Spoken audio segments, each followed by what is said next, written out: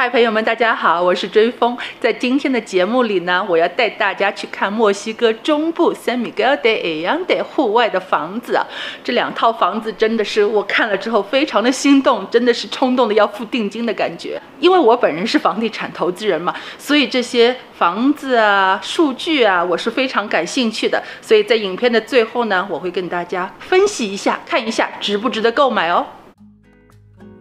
这个楼盘位于 San Miguel de Allende 市中心，开车约八到十分钟的位置，一共有五千个房子哦，还有 apartments。今天呢，销售就带我们去看两个房型。我个人是挺喜欢这房子的外形的，它整个这颜色的风格啊，红、黄、淡黄、白这种风格呢，就和 San Miguel de Allende 的那种。建筑风格的颜色是相辅相成的。第一个房型呢是两房，房子一共呢有三层楼，一楼呢就是餐厅和客厅、厨房，还有加个小院子，有半个洗手间。整个房子的面积呢是一百四十三平方米，占地是九十平方米。这套房子呢是全配的，就所有的厨房啊，这些橱柜都是包括的。石英石的台面，还做成了一个小吧台的用餐位置，也都是 gas stove 煤气的这种灶台。院子比较小，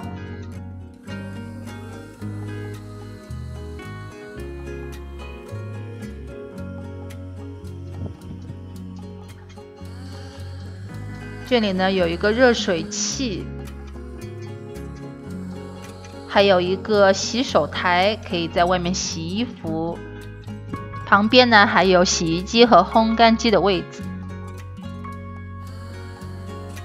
如果您是第一次来收看我的节目呢，我这个频道主要是分享我移民到北美后的各种生活啊、感受啊，还有我是如何通过做房地产投资达到财务自由的各种干货。如果您喜欢我今天的节目呢，就请您动一动手指，给我点个赞哦！您的支持是我做节目最大的动力了。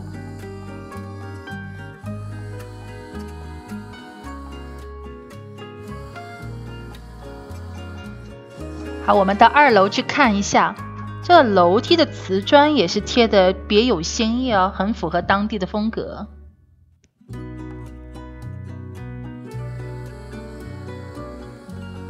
二楼呢有两个卧室，还有一个小的这样一个 living area 或者是 studio。这个卧室的面积还是可以的，这个是次卧。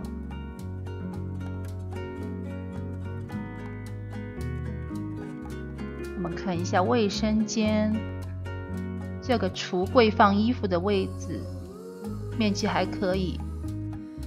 瓷砖呢是这种蓝白色的。干干净净的感觉。这个是主卧了，主卧倒是不错哦，它还有个阳台。终于到了三楼了，我梦寐已久这个大露台真的很漂亮哦，面积很大，还带有一个卫生间。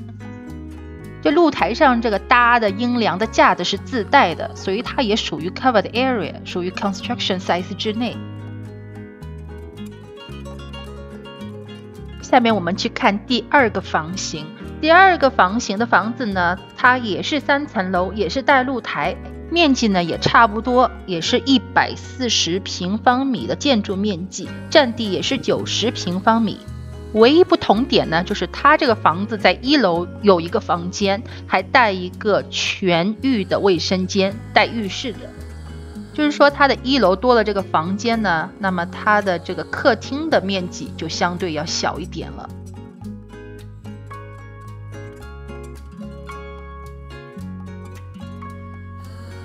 这个就是它自带的一个卫生间，带浴室的。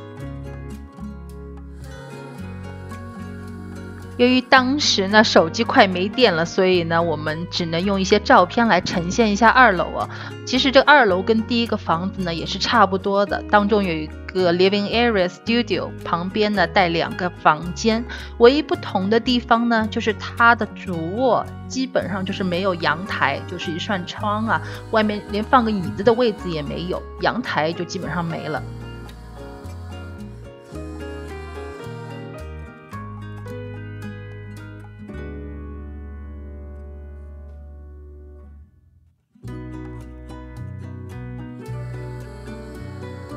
大露台的面积呢也是一样的，唯一不同的地方呢是它给我们看了，你们可以呢自己放一个这种 hot spa，因为有水管，热水管已经排好了。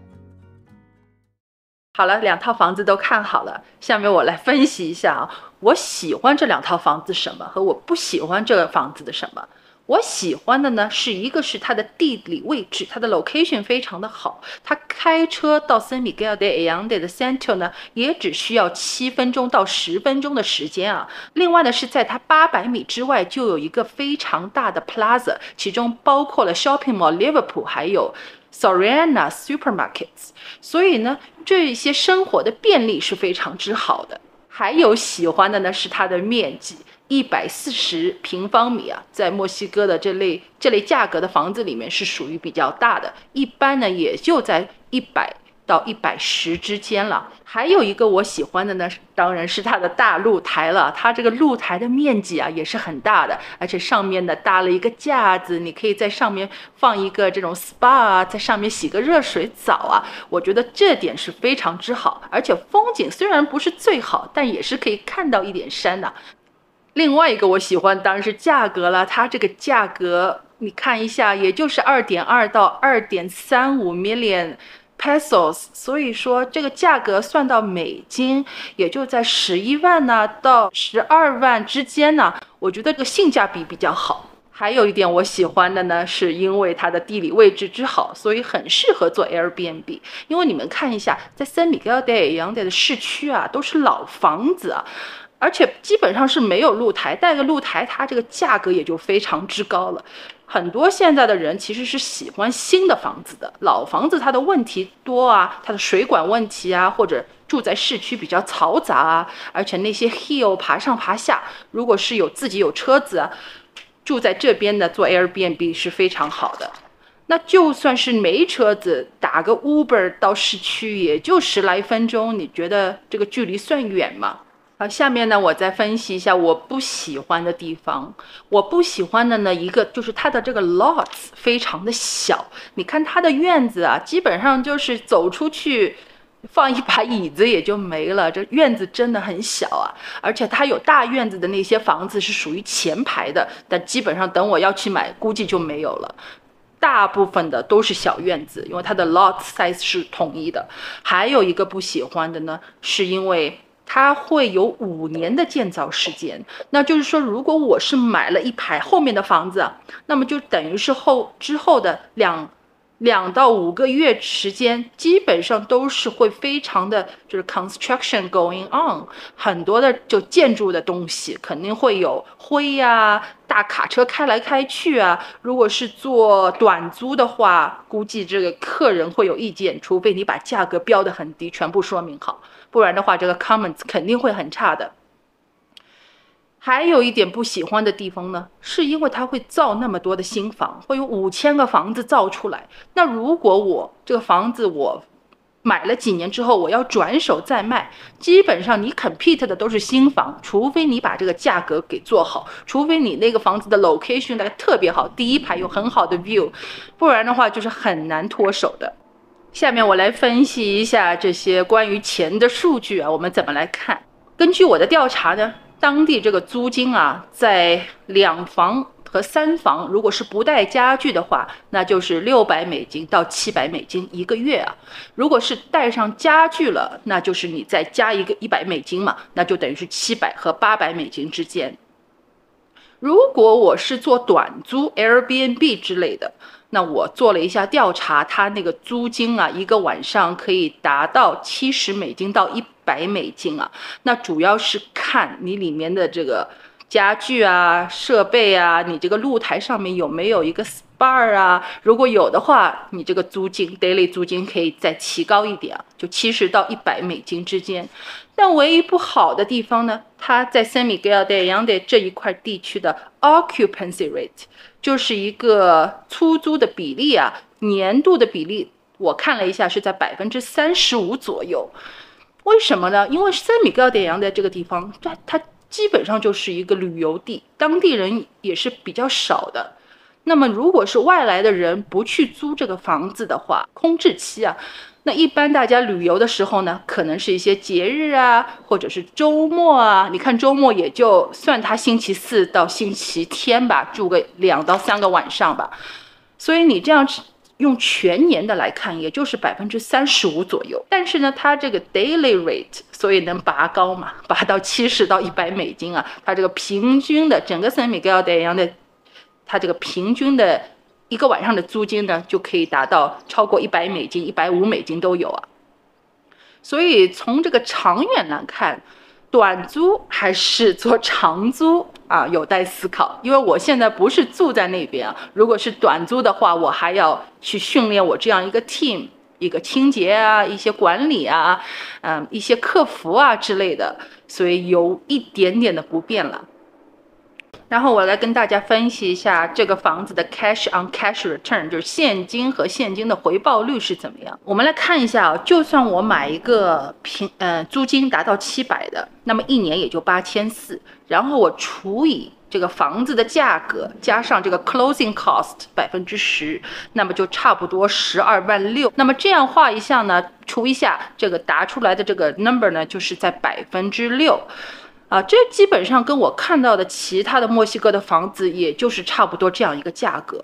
因为作为一个外国人啊，即使是当地人买房，在墨西哥这边付了首付之后呢，他这个房贷的利息啊，基本上能达到百分之九以上啊，所以呢也是非常之高的。而且我们现在也没有什么 credit 啊之类的，所以基本上就是全款买。全款买的话呢，我觉得这个 leverage 不是最好。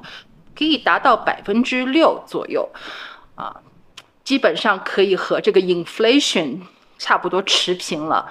然后好的地方呢，就是因为是新房啊，所以它这个 maintenance 啊、维修费啊之类的肯定会比较少，而且当地的墨西哥的劳工的这个价格也不是很高，跟美国比真的是非常之低了。而且它这个税税是比较便宜。像这样的房子，我就预估哦，根据我自己房子这个价格来预估一下，也就在四五百美金一年。HOA 费呢是在一千 peso 一个月，那就是五十美金一个月。所以这个长期的这样看来呢，省时省心省力是有，但是唯一不好的呢，我也听说是就是这边是 tenant favor。的一个 country 啊，也不光是 states 了，所以说，如果是你的租客 欠了这些租金呢，可能很难驱赶。这个方面呢，我们也没有做很深入的研究，只不过是道听途说啊，听说在墨西哥就这样一个情况啊。然后我看到这房子那么漂亮啊，我很喜欢它里面这些风格啊、颜色啊，这个大露台啊。离 San Miguel de Allende 也是我非常喜欢的一个城市，想着想着就心动啊，然后就想，哎，这能不能做一个就是一个 vacation house 啊？我周末的度假屋，所以每次我不用自己再找 hotel、Airbnb 了，就住到自己房间嘛。那么其他时候自己不住，那么就出租出去做 Airbnb 短租出去。你们觉得这样怎么样呢？呃，然后在之后的几天里面，那个销售的大姐姐也是一直在给我们发信息啊。她说第一排的房子还剩四个，你们要不要？因为第一排的房子呢，就是离那个 construction site 比较遥远了，跟她就基本上不搭界了。然后它那个院子比较大，它的院子呢有大到三十平方米的，就是比一般的才十嘛，它有三十多。那么就等就等于是他一个平方米再多收我五千五美金还是五千美金的，就是这个价格上稍微多一点，但是就是一个 potential 啊，作为一个潜力的话是比较好，因为以后大多数的这个区的房子都是小院子嘛，如果你要出租也好，短租也好，嗯，如果要卖也好，可能是多一点 value 在里面，所以呢，我也是比较喜欢这样一个 idea 的。好了，我你们都看好了，也听我分析好了，你们觉得怎么样？是不是要出手 去买呢？还是说，嗯，Let's wait and see？就我觉得这个房子谁看了这个价格都会很心动啊，因为我也听说有朋友就到 San Miguel de a n d 去看了一下房子，看着看着，然后就就付定金了嘛。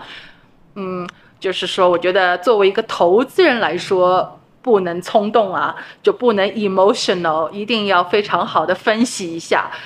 呃，所以你们觉得怎么样？你们如果是我的话，你会做什么选择呢？是买还是不买，或者是做长租还是短租呢？给我留言啊，我非常想看看你们是怎么想的。好啦，我今天带大家看房子和分析房子呢，就做到这里。Stay tuned，我还会带大家看更多的房子哦。